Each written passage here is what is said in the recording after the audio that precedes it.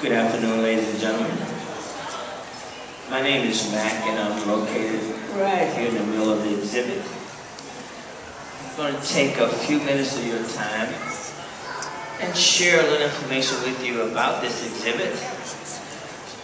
First, we got to do a little fire and safety type things. If you're on the floor, you can't stay on the floor. Just stay seated up against the window so the guests behind you can see. If you're upstairs, we have steps on either side that will bring you around. You can have a seat down in the DA area.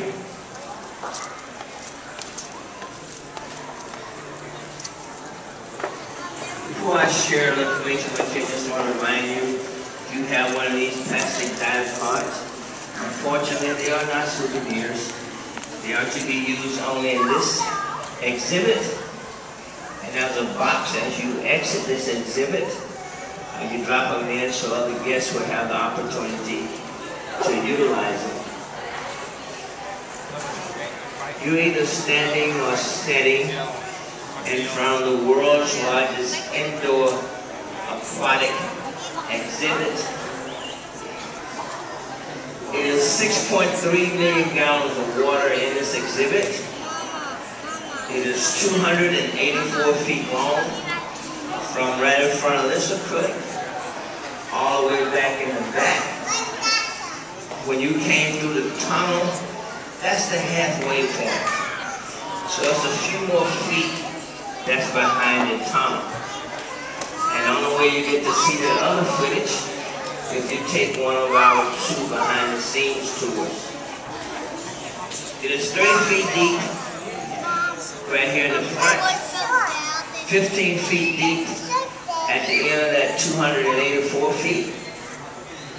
And up in the ballroom, which is not open today, we have another viewing window. It's 20 feet deep there.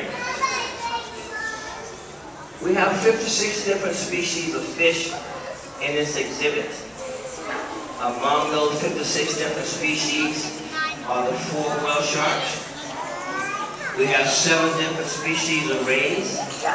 And among those species of rays, we have the four manta rays. We are the only aquarium in the United States that has whale sharks and manta rays.